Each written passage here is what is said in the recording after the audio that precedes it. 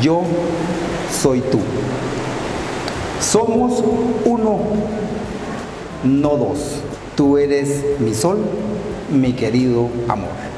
A partir del día de hoy, como dice esta expresión, Dani le va a decir a Majo y ella igual, tú eres yo, yo soy tú y somos uno solo a partir del día de hoy.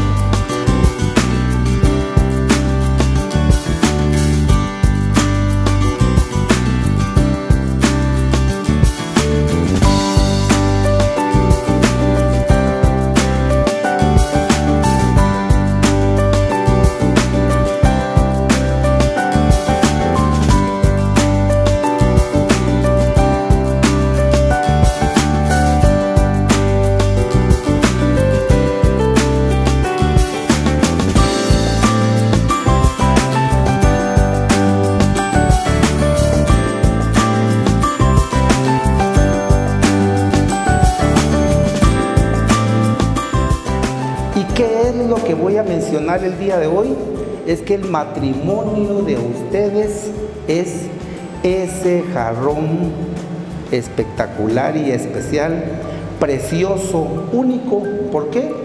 Porque está hecho por ustedes dos.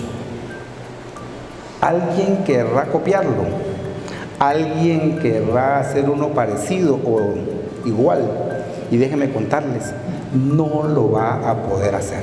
¿Por qué razón? Porque ustedes dos forman un matrimonio particular y especial. No porque se estén casando ahorita, sino porque creo que todos los matrimonios tenemos esa circunstancia en particular y es que estamos formados por diferentes elementos.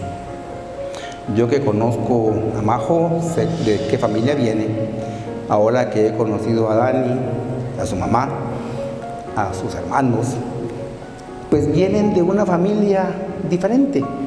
¿Y qué es lo que han formado el día de hoy? Es este jarrón particular y especial. ¿Pintado como Como ustedes lo quieran pintar.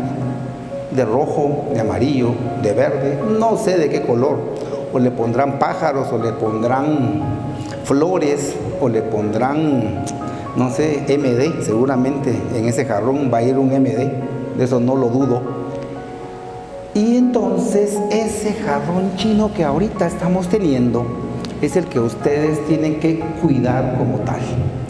Pero para mí hay un tema que es bien importante y es una historia que le escuché a un padre y es que existe la posibilidad que en cierto momento cuando estén limpiando ese jarrón, ese jarrón se caiga. ¿Y qué va a suceder? Se va a romper, ¿sí? Evidentemente se va a romper. Pero entonces, ¿cuál es la similitud que yo le encuentro a este jarrón que ustedes están teniendo ahorita y ese que se puede romper? ¿Qué es lo que uno seguramente hace con un jarrón de esta categoría, el matrimonio de ustedes? ¿Será que lo van a dejar ahí tirado y que se quede roto? Seguramente que no y lo que van a hacer es simplemente repararlo, ¿sí? Y lo van a reparar con algunas condicionantes. El primero de ellos, con esfuerzo y con amor. ¿sí? ¿Y por qué menciono esto? Porque lo digo generalmente en todos y cada uno de los matrimonios. Y se los digo a los muchachos. Yo tengo 32 años de casado y déjenme contarles, el matrimonio a veces es difícil. Y aquí muchos de los que están van a decir, sí es cierto. Y van a decir, nos pasó. ¿Y cuál, va, cuál ha sido el secreto de esto? Y es que a pesar de que esté quebrado, de que esté roto, el jarrón se puede volver a hacer de nuevo con ese amor y esa ese esfuerzo que los dos deben tener.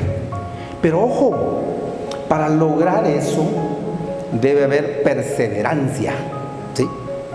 Debe haber una comunicación, debe haber un diálogo y debe existir mucho amor. ¿Por qué? Porque si no existen todas estas características, ¿qué es lo que va a suceder? Posiblemente van a poder rehacer el jarrón, pero no va a quedar igual, ¿sí? No va a quedar igual. Y por eso pongo esas cuatro características. Primero, perseverancia. La perseverancia en el matrimonio es importante. ¿Por qué? Porque este es un proyecto que el día de hoy ustedes están iniciando. Y ese proyecto de matrimonio, ustedes tienen la idea de que va a ser de aquí hasta que la muerte los separe. ¿sí? Y de eso soy seguro porque ya lo hablé con ellos dos. Y habiendo escuchado el consentimiento que han dado ustedes, los declaro formalmente casados en matrimonio civil. Y viene la, famosa expresión, puedes besar a la novia, por favor. Un aplauso para ellos, por favor.